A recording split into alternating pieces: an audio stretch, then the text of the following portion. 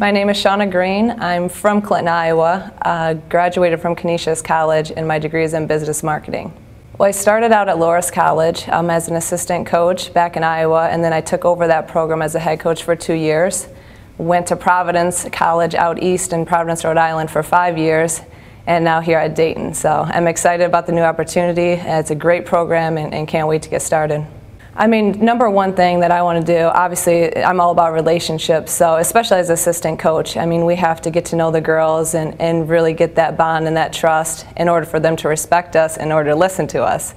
Um, in terms of basketball, I'm a big believer in fundamentals, um, just working as hard as you can. Um, you know, and just really being solid in all the little things. I think when you work hard and you pay attention to detail, good things are going to follow you know, I'm just really excited to learn something new, learn from a great coach, um, an established program. So again, I just can't wait to start learning the system um, and really get into the X and O's this summer and then get on the floor in the fall and, and start teaching the girls. I wanted the best fit and I wanted good people and, and, a great coach and a great program and that's what Dayton has to offer. Um, you know, I think their success has speaks for itself in terms of what they've accomplished the past, you know, three, four years, and and that's what I was looking for. And and again, it's about the people, it's about the kids.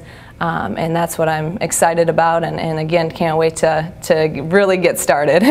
um, I'm going to be recruiting coordinator so right now I'm in the midst of the, the mess of scheduling for July and then I'll be in charge of the wing players as well so um, on the court uh, and monitoring them off the court in terms of academics and all of that and, and we're all going to have a hand in recruiting we're all going to have a hand in the X and O's um, but those are my primary responsibilities. Hey Flyer fans, come check us out next fall at UD Arena as we defend our A10 title.